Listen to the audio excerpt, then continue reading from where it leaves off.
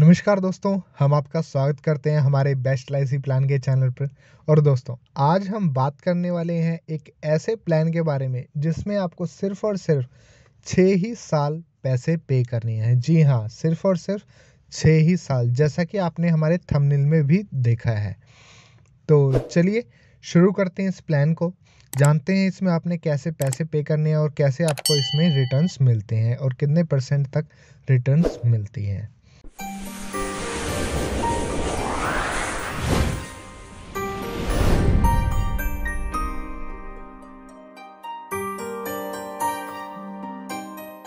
सबसे पहले दोस्तों, इस प्लान का नाम जान लेते हैं। इस प्लान का दोस्तों, नाम है जीवन लक्ष्य, जिसमें आपको हमने 933 21 साल के लिए प्लान दिया हुआ है। और वहीं अगर हम समशोड की बात करें तो इसमें पाँच लाख पचास हज़ार का समशोड आपको दिया गया है। और वहीं अगर हम प्रीमियम की बात करें तो वो आपने अगर मंथली करनी है तो पच्चीस सौ, चालीस होगी। और वहीं अगर एनुअल की हम बात करें तो तीस हज़ार चार सौ अस्सी रुपये होगी। तो आगे बढ़ती हैं और जानते हैं ये प्लान कैसे वर्क करता है इस चार्ट के माध्यम से। तो सबसे पहले दोस्तों, जो हमारा ये, हमने एक टेबल बना रखा है इसमें, जिससे आपको समझने में आसानी रहेगी। तो फ़र्स्ट वाले कॉलम में दोस्तों जो ईयर्स दिए गए हैं 2021 से लेके 42 साल तक का ये प्लान है। और अगर हम एज की बात करें तो तीस साल से लेके इक्यावन साल तक जाएगी। ये हो सकता है आपकी एज थर्टी वन हो, इकतीस हो, बत्तीस हो, चौंतीस हो या इकतालीस हो। उस अकॉर्डिंग ये प्लान आपको दिया जाएगा। अगर हम वहीं रिस्क कवर की बात करें तो इसमें दोस्तों आपकी जो रिस्क कवर रहती है वो बाईस लाख से शुरू हो जाती है और एक लाख तेरह हज़ार तक जाती है नॉर्मल कवरेज में। वहीं अगर हम एक्सीडेंटल की बात करें तो वो सत्ताईस लाख से शुरू होकर एक लाख अड़सठ हज़ार तक जाती है। छियासी हज़ार तक जाती है। अब इसमें दोस्तों हमें दो ऑप्शंस मिलते हैं। एक, आप नॉर्मल प्रीमियम दीजिए और उसके बाद जो मेच्योरिटी है, वो ले लीजिए। लेकिन आज हम इसका एक दूसरा ऑप्शन देखने वाले हैं, जिसमें कि आपको सिर्फ़ और सिर्फ़ छः साल ही पैसे पे करने हैं और जो आपकी मेच्योरिटी रहेगी, वो भी दस लाख ही रहेगी। तो चलिए, सबसे पहले दोस्तों, मैं आपको यूजुअल वाला दिखा देता हूँ कि यूजुअल में कैसे होता है। यूजुअल में दोस्तों, जो आपका नॉर्मल रहता है केस उसमें आपको अगर आप 21 साल का प्लान लेते हैं तो उसमें आपको तीन साल का रिबेट देती है एल तीन साल आपने पैसे नहीं पे करने होते हैं। तो उस केस में सिर्फ़ 18 ही साल पैसे पे करने होते हैं तो वो यहाँ से यहाँ तक अट्ठारह साल के लिए आप पैसे पे कर रहे हैं एंड उसके बाद आपको जो मेच्योरिटी है, वो दस लाख रुपए एज ऑन मेच्योरिटी इक्कीसवें साल दे दी जाती है। लेकिन अब इस केस में क्या है? इस केस में आप दोस्तों इस साइड आएँगे राइट साइड में तो आप देखेंगे येलो कलर में जो अमाउंट लिखी हुई है पेमेंट थ्रू ओन फंड्स मतलब जो पेमेंट है वो आपके हिस्से में कितनी जा रही है। तो first year second year third year, fourth year, fifth year और सिक्स ईयर। छः साल आपने पैसे पे किए हैं। उसके बाद, दोस्तों, आपने यहाँ आ जाना है। यहाँ लिखा हुआ है loan taken loan amount required और interest on previous loan paid हमने कितना लिया था और कितना देना है और हमें कितने की लोन की ज़रूरत है। अब आप कहेंगे कि लोन इसमें क्यों लेना है और हम क्यों लोन का इंटरेस्ट पे करेंगे? तो इसमें दोस्तों आपने कुछ भी पे नहीं करना है लोन भी नहीं पे करना है और लोन का इंटरेस्ट भी पे नहीं करना है। वो सारा का सारा एलआईसी ही पे करेगी आपकी। तो सबसे पहले दोस्तों, हम लोन रिक्वायरमेंट देख लेते हैं। हमें लोन की कितनी रिक्वायरमेंट है? तो जैसा कि आप देख रहे हैं, यहाँ पे जो किस्त है हमारी, वो उनतीस हज़ार आठ सौ बत्तीस रुपये है। तो लोन रिक्वायर्ड में आप देखेंगे तो उनतीस हज़ार आठ सौ बत्तीस रुपये लिखा हुआ है।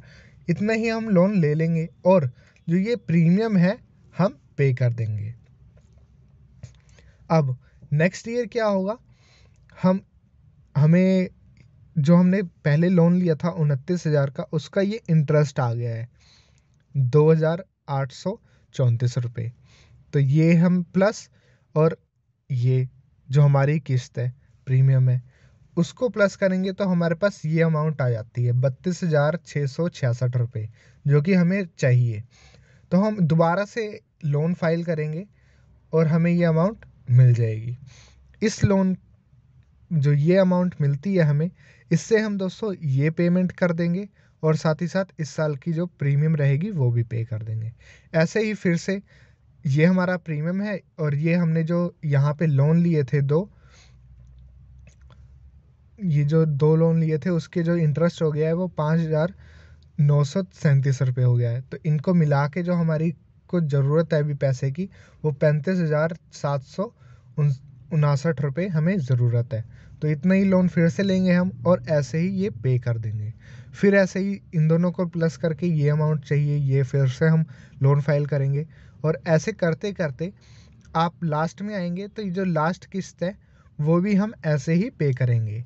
जो हमारा किस्त रहेगा और जो इंटरेस्ट रहेगा इतने की हमें ज़रूरत होगी और इतना ही हम लोन पिक करके एलआईसी की तरफ़ से उसे पे कर देंगे। और जो नेक्स्ट फिर से अगले साल एक बारी ऑन लो, और लोन लेंगे जिससे कि हम अपना इंटरेस्ट पे करेंगे। तो ये वाला भी इंटरेस्ट हमने यहाँ पे कर दिया है। अब 18 साल 19 साल पूरे हो चुके हैं। दो साल वेट करने के बाद आपको जो मेचोरिटी है, वो दोस्तों सेम दस लाख इक्यासी हज़ार तीन सौ रुपये दे दी जाएगी। सबसे बढ़िया प्लान है ये दोस्तों। इसमें आपको जो मेचोरिटी है, वो दे दी जाती है। अब आप पूछेंगे, लेकिन ये लोन भी तो भरना है?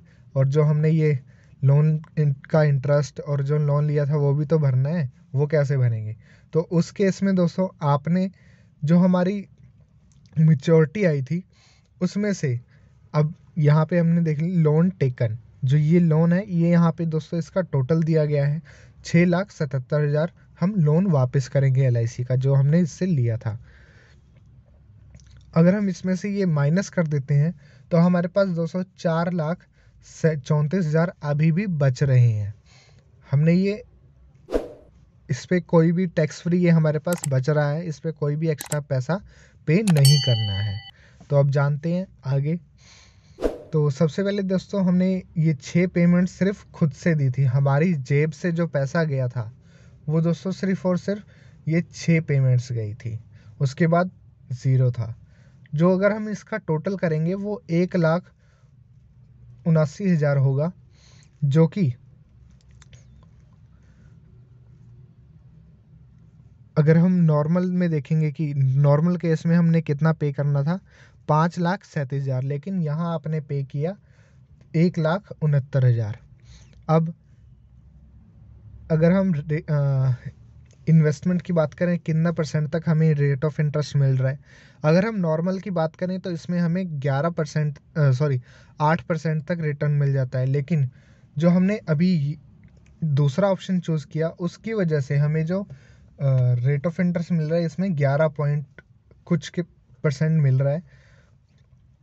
आप वैसे भी नॉर्मल भी देख सकते हैं, यहाँ पे हमें दस लाख इकतीस, इक्यासी हज़ार मिल रहा है और हम पाँच लाख सैंतालीस हज़ार दे रहे हैं। तो इससे ज़्यादा ही होगा। दो गुना के हिसाब से मिल रहा है बट यहाँ पे आप एक लाख उनासी हज़ार दे रहे हैं और चार लाख मिल रहा है। दो गुना से भी ज़्यादा आपको इसमें पैसा मिल रहा है। तो जान लेते हैं इसके कैसे ये प्लान वर्क कर रहा है समरी उससे पहले दोस्तों, हम इसमें टैक्स सेविंग की भी बात कर लेते हैं कि आप इसमें टैक्स कितना सेव कर रही हैं। तो सबसे पहले जैसा कि हमारा नाइन एट्टी सी के तहत जो हमारा प्रीमियम होता है, उसमें भी आपको इनकम टैक्स बेनिफिट मिलता है। तो उस केस में देख सकते हैं आप, ये हम यहाँ पे पे कर रहे हैं एवरी ईयर नौ हज़ार चौदह रुपये अब छः साल बाद हमने दोस्तों इस पर लोन ले लिया था। तो लोन का जो इंटरेस्ट होता है, वो भी आप यहाँ देख सकते हैं। वो हम पे कर रहे हैं। वहीं अगर हम टोटल की बात करें तो ये दोस्तों यहाँ टोटल हो गया है। यहाँ देख सकते हैं आप, पहले नौ हज़ार चौदह दे रहे थे। अगले साल से आपकी जो सेविंग हो रही है टैक्स सेविंग वो नौ हज़ार आठ सौ नब्बे रुपये हो रही है। उसके बाद दस हज़ार, ग्यारह हज़ार, बारह हज़ार, ऐसे करते करते ये बढ़ रहा है। अगर हम टोटल इसकी बात करें, आपने इक्कीस, उन्नीस साल में टैक्स कितना सेव किया? तो वो दोस्तों आपने दो लाख इकसठ हज़ार रुपये इसमें सिर्फ़ टैक्स सेव किया है। सिर्फ़ टैक्स। आगे हम बात करेंगे इसके बारे में भी। अब मैं आपको बताता हूँ इसमें नॉर्मल वाले से और जो हमारा दूसरा ऑप्शन है, उसमें क्या डिफरेंस आ जाता है। रिस्क कवर दोस्तों इसमें दोनों में ही आपको सेम मिल जाता है, बाईस लाख और बाईस लाख। ये ऑप्शन टू है और ये ऑप्शन वन है। यूजुअल जो नॉर्मल प्लान हैगा हमारा और जो अंडर दिस स्कीम मतलब जो ये वाली स्कीम जब मैंने आपको बताई है उसके अंदर। अगर मैक्सिमम की बात करें तो वो भी सेम है। सत्ताईस लाख हमें वहाँ पे मिल रहा था। सत्ताईस लाख इस पॉलिसी में भी मिलेगा। टोटल प्रीमियम पेड की बात करें तो पहले वाली नॉर्मल केस में आपने पाँच लाख सैंतीस हज़ार पे करने थे। लेकिन इस वाले में एक लाख उनहत्तर हज़ार ही पे करनी है, उनासी हज़ार ही पे करना है। एट्टी सी के तहत आपको इस वाले प्लान में सोलह हज़ार सॉरी एक लाख बासठ हज़ार का मिल रहा था। एक लाख बासठ हज़ार का आपको इसमें टैक्स सेविंग मिल रही थी। सेम इसमें भी आपको टैक्स सेविंग एक लाख बासठ हज़ार की ही मिलेगी। और यहाँ पे आपको कोई भी लोन इंटरेस्ट वाला नहीं मिल रहा था, लेकिन यहाँ पे आपको लोन इंटरेस्ट वाला भी मिलेगा। जो कि लोन इंटरेस्ट का जो हम पे करते हैं उसमें भी हमें रिबेट मिलती है तो वो भी यहाँ पे आपको मिलेगी। अगर हम इन दोनों का टोटल करें तो जैसा मैंने आपको पहले बताया था दो लाख इकसठ हज़ार रुपये हो जाएगा। तो अगर हम टैक्स सेविंग की बात करें तो आपने सा उन्नीस सालों में एलआईसी को दिया था एक लाख उनहत्तर हज़ार। लेकिन आपने टैक्स कितना सेव किया? ए, दो दो लाख इकसठ हज़ार। अगर उसमें से माइनस करेंगे हम तो हमारे पास इक्यासी हज़ार माइनस में आएगा। आपने तो कुछ पे करा ही नहीं है आपको चार लाख रुपए। Free of cost hundred percent free मिल मिली है। विदाउट एनी इंटरेस्ट मतलब इसमें अगर आप इंटरेस्ट की बात करें तो आपको चार लाख परसेंट का इंटरेस्ट मिल रहा है, एक हिसाब से अगर हम देखा जाए।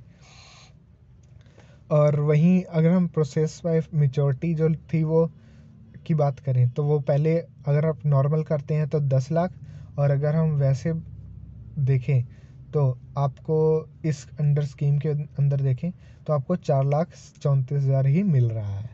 वहीं अगर हम कंपाउंड वैल्यू ऑफ़ प्रोसीडिंग मतलब टोटल अगर देखें कि आपको उस वक्त मिलेगा तो ये आपको टोटल उस वक्त मिल जाएगा।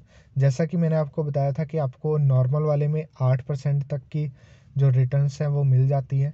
लेकिन वहीं इस पॉलिसी के अंदर आपको ग्यारह हज़ार ग्यारह परसेंट तक अगर हम आप टैक्स डिडक्शन नहीं लेते हैं, अगर उस केस में देखें तो आपको 11 परसेंट तक की डिडक्शन रेट ऑफ़ इंटरेस्ट मिल जाता है।